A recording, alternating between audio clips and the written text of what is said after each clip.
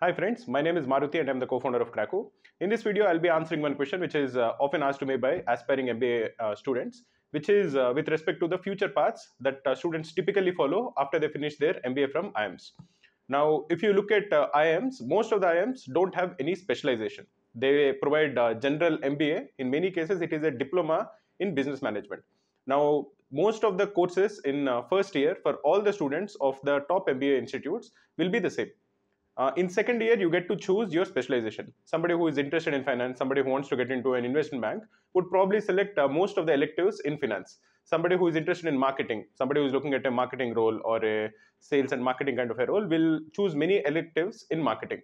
So typically, most of the students uh, in after MBA choose one of the three paths. One is getting into finance. Finance has two divisions. One is investment banking. The other is capital markets. Uh, the second uh, big stream is consulting where they can join a very big uh, consulting, uh, tier one consulting like say McKinsey, BCG, Bain. And there are also some tier two consults which actually come there. Uh, the third path that people choose is marketing, where you can join a big uh, MNC like say HUL or P&G. There is a fourth uh, path which is uh, with respect to general management, where you join a big company like say TAS, that is Tata Administrative Service, or something like say Aditya Birla. Now, these are basically the typical paths that students follow there are many students who also uh, become entrepreneurs like i myself have become an entrepreneur and many of my batchmates also have started their own companies. But if you are not looking for entrepreneurship these are the paths that uh, students typically follow which is investment banking consulting uh, general management and marketing. There are in the first year normally there is no di- uh, differentiation between students. All of them take more or less the same courses. And in the second year you get a lot of freedom to choose your electives. And based on your interest or your aspirations which field you want to get into that is when you actually start making the difference. That is when you start uh, selecting those electives. This is with respect to the first question. Uh, the second question is what are some of the key skills and knowledge areas that MBA graduates from IIMs acquired during the program? This is a very interesting question. In my opinion, you don't learn a lot of things uh, academically. Academically, because I feel that many of the students who actually enter into these IIMs are already fairly well driven. They're also fairly uh, mature and smart. So if you give them the book, they can actually read it and they can understand it but what they actually learn, what I myself have actually learned, are the soft skills. Soft skills would uh, involve something like, say, how do you actually manage a group? If there are a group, you have a lot of group assignments and you have a lot of work that has to be done in a group. Now, many times it so happens that uh, in the stress that is uh, part of your MBA program, the group sometimes will not work as efficiently as it can. Now, after some experience, you actually figure out what is the best way in which you can motivate each other. What is the best way in which you can actually get things done that i think is uh, some skill that is very important in uh, that is learned in an mba institute those soft skills. How do you talk to people? How do you approach uh, uh, there are many networking events that happen with respect to placements. Many of the companies that come have a lot of these sessions. They have some private sessions uh, where they call all the shortlisted people. There you have to go and talk to all the partners. So these are skills which are very important where you know how to network in a smooth manner. Initially you're not at all sure. You're very confused you also feel very awkward in actually going and approaching somebody. But after the second or the third one, once you see some of your uh, batchmates uh, figuring it out, you also learn uh, those tricks and you also become slightly smoother in actually approaching the uh, corporate uh, clientele. This is the second aspect. All of these things, if you look at it, are based uh, with respect to the soft skills. They're not the technical hard skills. For example, I worked for a few years in an investment bank immediately after IIM.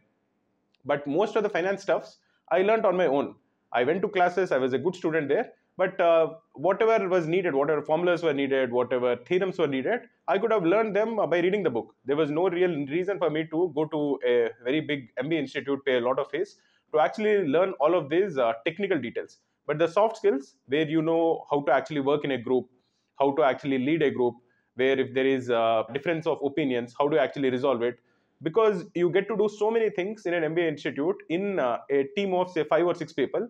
Uh, these kind of uh, soft skills develop quite a lot. That, uh, in my opinion, is the biggest takeaway that I had from an MBA institute. What I actually learned. What are the opportunities for international exposure and global career prospects after completing MBA from IIMs? Many of the uh, companies, many of the big companies that come offer roles which are abroad many of my batchmates also after working for uh, a couple of years uh, in india they were able to find uh, jobs abroad and uh, many of them are actually working abroad many of the guys that i know are not actually working in uh, say california there are some people who are working there But all across the world, I see many of my batchmates who are some of them are in Ireland, many of them are in Dubai, many of them are in Singapore, Hong Kong. Uh, many of them are actually in US, but not really in California. They are distributed all across US. Many of them went to Canada. So all of these guys, after working for some of them, actually got job uh, abroad. Their initial opening job itself was abroad. But many of the other guys also, after working for a year or two, they were able to figure out uh, find jobs and they were able to go abroad. It is basically uh, up to you, uh, but uh, the opportunities will always be there. In addition to it, if you're looking for international exposure, one thing that many of my batchmates actually did was they went to foreign exchange in their second year. In foreign exchange and they had a lot of fun. Many of these guys went together. They went on essentially a euro trip. Many of them had uh, this they spent one term that is i think around 2 months in some sort of a european uh, mba institute. And students from uh, those institutes came to india to our institute and many of the students from my institute went abroad. That also is a very nice international exposure that you have and not necessarily with respect to placements but it is uh, an international exposure as such which again i'm sure would have helped them. Like when i was telling you about how uh, working in teams working in uh, these groups helped me later on much later on. Similarly i think when they spent a few months on their own abroad i think that would have helped them uh, acclimatize to those surroundings better to that culture better so when they finally get a job uh, abroad i think they would have uh, found it much easier this experience would have definitely helped them later on how do IIM support students in terms of networking and building professional connections? I think IIM networks are very good, very underrated, especially if you haven't gone to an IIM. Uh, many people don't really understand how big it is. So, for example, once we started Cracku, I'll just give you a personal example. Once we started Cracku, when we are looking to raise funds, uh, again, I don't really know any VCs. When we first started, were, you hear about all of these big VCs, but you don't really know how to approach them. But what I realized was that in most of these VCs, uh, in this venture capital, VC is a venture capital firms, there was someone or the other who went to one of the IIMs or knew a friend of mine from uh, one of these IIMs. So it was very easy for me because of this alum network whenever I needed uh, to get a foot into the door.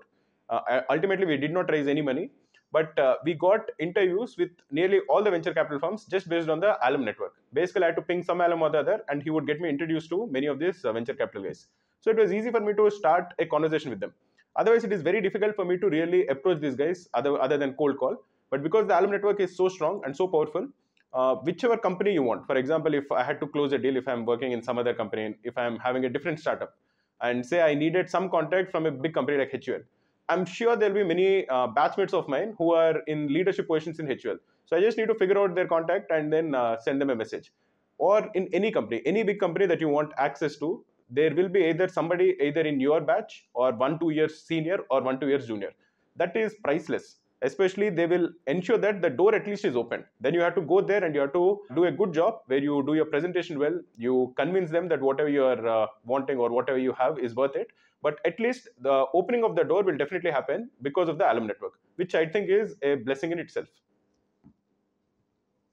How do MBA graduates and IIMs fare in terms of salary and compensation package? This question is often asked, but in general, I don't like it because uh, you're going to an MBA, uh, you're going to an IIM, you're going to do your MBA to have a career. You're not going there for your starting package. I think if you're focused on your starting package, that is a very myopic way of looking at it. It is a very short term uh, way of looking at things. Many students do that, unfortunate, uh, but that is not uh, going to make you happy because you have to focus on the career. You have to focus on which industry you, you are actually interested in because if you do a good job in any industry at the end of the day you will make enough money money will not be an issue uh, if you go into a top mba institute that is definitely not a question.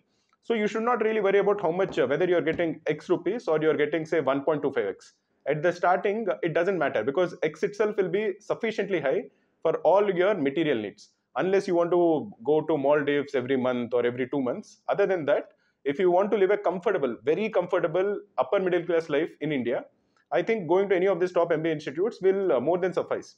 So then you have to focus on uh, the career, that is the sector that you actually want to get into. What is the sector that drives you? What is the sector that you're interested in? Where do you see yourself in 10 years? That question you might not know the answer right now, but you will know the answer to it, or at least you will have a much better idea when you're in the second year of MBA, when you already have a lot of exposure, you see a lot of your seniors, you talk to them, you attend a lot of these presentations so you understand what are the kind of jobs that many of these companies are actually providing then you can actually figure out based on your skill set what is the career that you're looking for do you want to get into investment banking do you want to start up do you want to get into uh, consulting do you want to get into marketing all of these things you can actually figure out now before I end it, I also want to give you a brief um, pros and cons with respect to the four uh, fields that I mentioned. With respect to finance, finance is of uh, two, mostly there are two types of roles. One is with respect to investment banking, and the second one is capital markets. Investment banking basically involves uh, mergers and acquisitions. So if there is a big uh, merger or a big acquisition that is happening, an investment bank will be, or an IPO that is happening, an investment bank will typically be working on this IPO, and that investment bank will have a small team of say seven to eight people. There'll be one big guy, there'll be two, three mid-level managers, and there'll be four or five associates who will be working on a deal. Now this is part of the investment banking. Now initially a person will start off as that associate who is at the bottommost uh, layer, and after a few years, after getting promotions, he will uh, hopefully end up at the top. Now investment banking makes a lot of money, that is true, but it involves a crazy amounts of work. The work-life balance I think is completely skewed, but you get a lot of money, and many people actually like it also uh, many people actually enjoy that uh, rush, that thrill. There's also a lot of, uh, for lack of a better word, power in it, where basically you get to see the happenings of big, big IPOs. You are at the center of it, the thick of it. If you get a good uh, job in an investment bank, so many people really thrive in it, but it involves crazy work-life balance. The work-life balance is completely skewed, but you make good money. You are in the thick of actual finance. Actual finance, the movers and shakers in India and in abroad uh, will be part of this investment bank. Now, capital markets, on the other hand, will be slightly more relaxed. You work only when the stock market is open. You basically, uh, it involves trades. You are trading basically on the stock market. You have complex trades also. This is basically the job of a capital markets guy. Uh, he'll trade across either currencies or equities or commodities, different different aspects. But basically, this involves trading on a stock exchange, uh, on public companies mostly. And this is much more relaxed, much more relaxed with respect to the timings. It is also stressful because you can get your profits and your losses. And the money is also pretty good. Money you can't really complain. The money also is pretty decent but it is much more relaxed. The difference between investment banking and capital markets is uh, from a career standpoint is that investment banking will uh, get you a lot of uh, exit opportunities later on. Because of the contacts that you have because of the work that you have done you can after 3 4 years if you don't like investment banking you can easily get a uh, switch into another big company uh, basically you'll be working with uh, many of these companies like i mentioned so you will, uh, many people find it very easy to actually switch from investment banking to another uh, corporate job. This is the advantage. In capital markets, on the other hand, unfortunately, I don't think you'll get a lot of exit opportunities. You either uh, like it and you survive and you make money, you work for a few years, maybe 15, 20 years, and then you retire. That is basically what a capital markets guy would be hoping for. This is with respect to finance. Consulting, on the other hand, is similar to investment banking, where again, uh, you'll be consulting big, big projects uh, you'll also have uh, the, a very clear pecking order. There'll be one partner, then there'll be some uh, associate partners, there'll be some uh, bottom guy who will be an associate. Very similar to investment banking. Again, the work-life balance is pretty skewed. Consulting in top of work-life balance also involves a lot of travel. Many times you have to go to the place of your client for the week, and over the weekend you fly back to your base station, which uh, is probably okay when you're young. But after five six years, when you're uh, say your 30s, you have a you're married, you have a family then it becomes uh, slightly lonely. And also, it uh, I don't think is healthy in the long run. How long can you live in a very good hotel? It is a very good hotel, but you have to live in a hotel. You have to eat outside. Uh, you will be missing your family. So that is not something which is sustainable. But in my opinion, but many of my friends have actually done very well. They are uh, some of them have become big big partners in McKinsey's and BCG's. So that also is there. But uh, you'll have to look at it. The money again is pretty good. Don't have to worry about it. The third one is marketing, where uh, initially probably you'll work in sales but after a year or two you'll be switching to marketing where you'll be leading many of these marketing campaigns of uh, big companies like i mentioned the biggest uh, marketing company or the most sought after marketing company is hul and P&G so any of the uh, launches that they're doing any of the campaigns that they're going to run you'll definitely be a part of it which again is pretty nice. Uh, you get uh, some sort of a uh, fund you'll have a budget and you'll have to work on it and ensure that the campaign runs smoothly. Money in marketing is not very high but again like i mentioned earlier money should not be an issue when you're choosing your career. You will not struggle. You'll have sufficient money to live a very comfortable life, but it would not be as high as somebody who is working in an investment bank or in consulting. Finally, the last one is with respect to general management, uh, where you get into TAS, that is TAS, or you get into Aditya Birla. Uh, there is a leadership program in Aditya Birla. So the way it works is uh, in TAS, for example, you will be rotating across different different companies of uh, Tata Group. You will be, I think, working for maybe a year or two in each of these companies, and you will be groomed and if you perform well in each of these rotations, essentially, uh, you are taken into a mother uh, company, a bigger company, and then you start going up. Now, the aim of this TAS or all the people that they recruit, they recruit only six to seven people every year. The aim is that at the end of uh, many years, you should become the CEO of one of these Tata companies. That is the leadership uh, grooming that happens in TAS. and it is again a very sought after job because again look at the opportunity that uh, you are getting you get to work in different different tata groups for maybe a few years at one go so that you learn the business through and through. And if you do a good job you'll keep getting promoted and hopefully you'll become the ceo of one of the tata groups which is uh, again this is a very well sought after uh, job uh, TAS money is again not very bad. It is not exceptional but it is pretty good. Uh, TAS also gives you good money but again not as high as investment bank or consulting but again this is a very well sought after role which again i really like. Uh, because at the end of the day if you do well there is a very clear path uh, ahead of you. You have to just uh, put your head down and work well and then you can become the ceo of a big company. This is with respect to the opportunities that are available uh, after your two years in mba if you have any doubts with respect to any of the things that i mentioned please do mention as a comment below this video. I'll try to uh, answer all of them. And uh, students who are preparing for mba know that Cracku is providing a lot of free material. We provide daily targets which are taken by thousands of students every single day. We are providing the previous papers of all the MBA exams. We are providing previous papers of CAT, XAT, SNAP, CMAT, all of them completely for free with detailed video solutions. The link for the detailed video solutions is also provided in the PDF. After every question in the PDF, there is a button.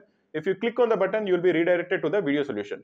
So make the best use of all of this free stuff in addition to it, we are also providing one free mock, which has complete detailed video solution in CAT, XAT, SNAP, all of them. All of these exams are in the latest pattern. So definitely make use of them and uh, prepare well. I hope you do well and uh, join a very good uh, MBA institute in the coming year.